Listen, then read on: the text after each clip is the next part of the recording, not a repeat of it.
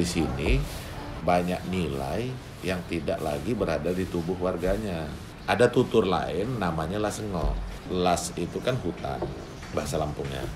Sengok itu angker. Jadi semacam mitologinya masyarakat untuk menjaga kelestarian alam. Itulah sengok itu konsep bagaimana masyarakat punya kebudayaan namanya lasengok yang merupakan konsep untuk menjaga kelestarian alam. Bagaimana masyarakat menjaga pohon, menjaga sumber air, bagaimana hmm. mengelola sampah, bagaimana hubungan manusia yang setara. Yang kita dengar tadi, suara seorang bupati Tulang Bawang Barat, Umar Ahmad, sebuah wilayah dan seorang bupati yang berada dalam imajinasi antara desa dan kota, antara masa lalu dan masa depan imajinasi tentang peradaban yang punah setelah meletusnya Krakatau Purba, terpisahnya Jawa dan Sumatera. Kabupaten Tulang Bawang Barat diresmikan Menteri Dalam Negeri Indonesia pada tanggal 29 Oktober tahun 2008. Jumlah penduduk hampir 300 ribu jiwa hidup dalam multi etnis Lampung, Melayu, Jawa, Sunda, dan Bali. Akhirnya Lasengok ini juga perlu kita hidupkan. Nah makanya kita kasih tanda dengan menaruh batu dengan formasi bintang Orion itu. Bintang. Kalau dia dari atas kan rasi bintangnya bintang Orion itu, okay, sang pemburu. Titik itu tadinya kan rawa terus kita taruh batu dari letusan Krakatau Purba yang kita pindahkan ke sana hmm. dengan formasi bintang Orion.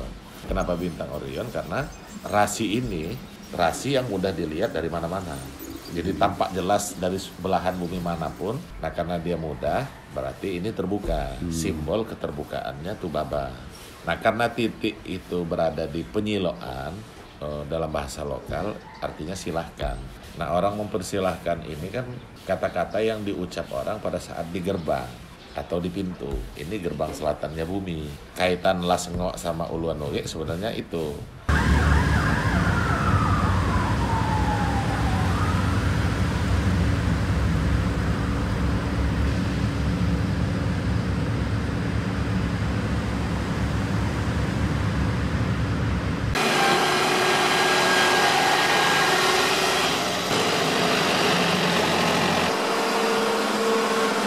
Noge itu sendiri peradaban purba yang hilang karena Krakatau purba meletus.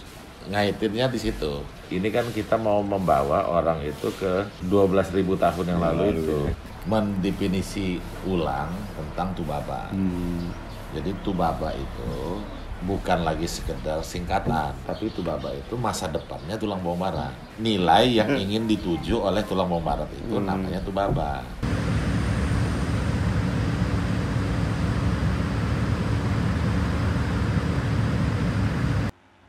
Saya memujanya, dia rambut ikal, harumnya berwarna sirih. 18 raja dan pangeran mengejarnya. Tidak, dia benih ikan baung celaka. Lelaki jadi cacing dalam senyumnya. Dia ramping, langkahnya gemulai. Nyanyian merdu di tai lalatnya. Kamarnya dipenuhi kicau burung dari kabut hutan pagi. Tidak, dia benang tenun yang tak bisa dirajut. Bayi-bayi menolak rahimnya. Dia memiliki mata elang dalam kabut sungai. Kamar mandi menyanyikan tubuhnya. Air liur harimau menetes di atas layar rusa. Tidak, cintanya terus berlari hatinya menyimpan bangkai parfum. Lelaki jadi kwitansi dalam pagutannya.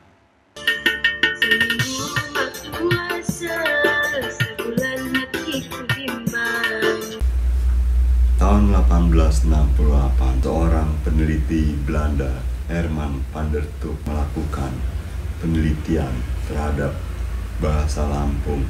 Apakah dia menemukan masa lalu Lampung atau dia menemukan masa depan Lampung? Apakah meletusnya Krakatau Purba? Apakah meletusnya memberikan sebuah masa depan yang lain?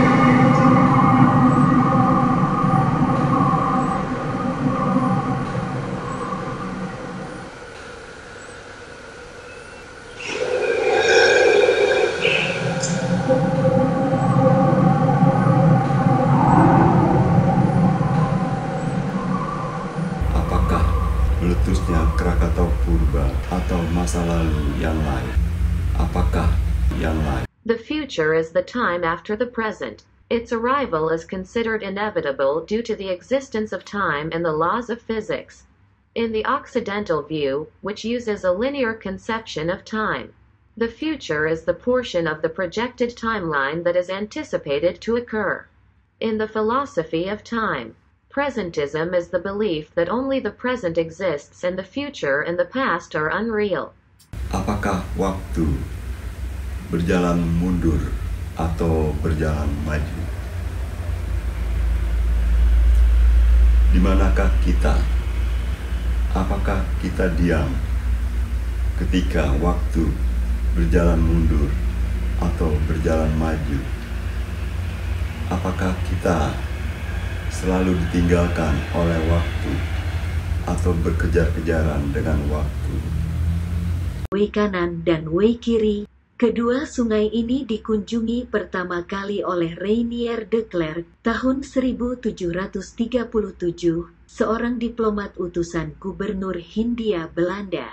Rainier de Klerk bertugas menyelesaikan persengketaan antara Kesultanan Banten dan Kesultanan Palembang. Apakah kita tidak akan pernah menemukan masa lalu dan sekaligus tidak akan pernah menemukan masa depan? Masa depan adalah waktu setelah masa sekarang. Kedatangannya dianggap tak terelakkan karena adanya waktu dan hukum fisika. Dalam pandangan Barat yang menggunakan konsepsi waktu linier, masa depan adalah bagian dari garis waktu yang diproyeksikan yang diantisipasi akan terjadi. Dalam filosofi waktu, presentisme adalah keyakinan bahwa hanya masa kini yang ada dan masa depan dan masa lalu tidak nyata. Studi masa depan atau futurologi adalah ilmu seni dan praktik mendalilkan kemungkinan masa depan. Praktisi modern menekankan pentingnya masa depan alternatif dan jamak daripada satu masa depan monolitik Orang Lampung itu memegang falsafah hidup itu ada lima. Piil pesegiri punya pendirian yang kuat. Nemu nyimah itu ramah sama tamu. Bejuluk baadak itu punya status yang jelas dalam adat. Nengah nyapur, dia gaul. Kalau nemu nyimah itu terhadap tamu itu harus dilayani, melayani tamu lah. Udah itu sakai sama yang gotong royong. Kalau bicara orang tubaba, ya orang yang memegang teduh nenemo itu tadi neman, nadas, nerimo, neman itu pekerja keras, nadas tidak kenal menyerah, nerimo memiliki keikhlasan. Plus yang dikasih badu itu tadi sederhana, setara dan lestari. Singkatnya gini, jadi kalau nanti kita menemukan orang yang buang sampah sembarangan, bisa dipastikan itu bukan orang tubaba. Nah itu masih orang tulang bawang barat, kira-kira gitu.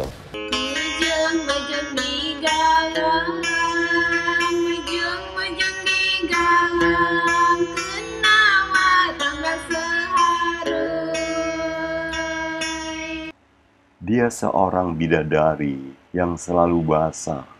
Mikrofon menjilati betisnya. Tidak, suaranya menyimpan talang bocor. Bantal-bantal berhamburan keluar jendela kamar. Kuku emas tanggainya birahi yang tak pernah padam. Dia orang sakti, lahir dari selembar saham pabrik gula, menunggangi gelombang dari batu-batu menhir. Kalimatnya lebih panjang dari malam minggu. Tidak, dia hari Senin yang malas. Semua sigar tidak muat di kepalanya. Dia, kataku, tidak. Lelaki yang memilih perempuan seperti menyimpan mayat ibunya di bingkai cermin. dan kita menganut masa lalu yang jauh itu juga masa depan dan kita menganut masa lalu yang jauh itu juga masa depan Di balik perempuan itu, putri betik hati, perang, seperti membakar semua bayangan. Pertempuran di lawak tunggu telu, tiang yang dasarnya dijaga naga, tubuhnya berputar, menunggangi angin, sperma berhamburan, alam seperti kumpulan material yang bosan, raungan malaikat seribu singa yang tidak kuat muntah darah, jurus sakti menunggangi kata-kata, makna mengering dalam sarung keris, lalu hening, nafas tak nafas lagi, angin tak angin lagi. Berugo itu ayam hutan. Gue itu sebutan orang Lampung untuk menyebut ayam hutan. Nah kalau di Jepang punya Hechiko yang bicara tentang kesetiaan, kita anjing itu cerita kesetiaan. Nah berugo ini bicara kepatuhan. Filosofi hidup orang Lampung itu kan mati beruga, hidup beruga. Rebah pisang, tumbuh pisang. Kalau pisang kan kalau dia udah ditebang, udah buah ditebang, mati. Jadi artinya sekali dia hidup memberikan manfaat ya kan. Nah, kalau berugo itu dalam satu kawasan hutan itu kita akan mendengar hanya satu kokok beruga. Jadi kalau sudah ada dua kokok beruga berarti itu sudah beda kawasan. Jadi dia patuh. Jadi kalau orang tuanya masih ada, anak beruga itu walaupun dia sudah bisa kokok, dia nggak akan kokok di tempat bapaknya kokok. Raden Jambat, lelaki itu, keluar dari perahu ke kutingnya, ngadidang dalam prosa penuh birahi, harum lada hitam di atas permukaan sungai, tubuh musuh ambruk dalam bayangannya sendiri. Dua puluh langkah, sebuah puisi jatuh, terbakar di antara dua paha perempuan. Krakatau baru saja meletus, mayat memenuhi pantai, ikan-ikan bukan ikan-ikan lagi. Sebuah sastra lisan terus menatapnya di luar aksara. Dan kita menganut masa lalu yang jauh itu juga masa depan. Dan kita menganut masa lalu yang jauh itu juga masa depan.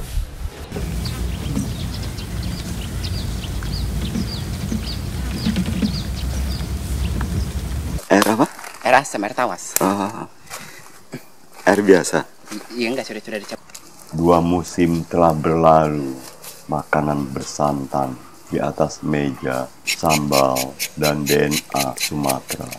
Bayangan senyap merayap ke masa lalu. Sunyi adalah arsip. Angin adalah arsip. Kalung waktu pada wai tulang bawang kiri dan kanan.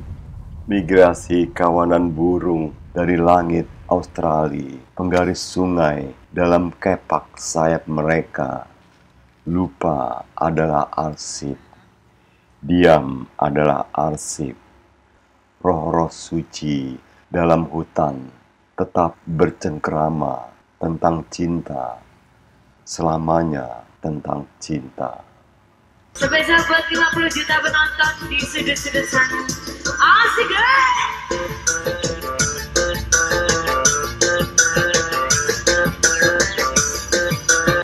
Suara hewan malam mulai bercampur suara lain. Suara kayu perahu mayeng, tatapan dan kerlingan dalam kelokan cerita. Suara tabuan cetik dan keroncong lampung. Sayatan sunyi pada pohon karet, getah putih bau lateks. Suara serangga bertambah nancap malam dalam frekuensi menghujam ke dalam bayangan bahasa. Puisi cinta, bau sirih, payung putih, dan tapis emas. Di sebuah rumah tak berpenghuni, di bandar dewa, jendela telah lepas, pintu bolong, lantai rumah panggung miring ke runtuh. Mencari oksigen dalam aksara kaganan. Catatlah alamatku, katanya aku tinggal dalam bahasa Lampung.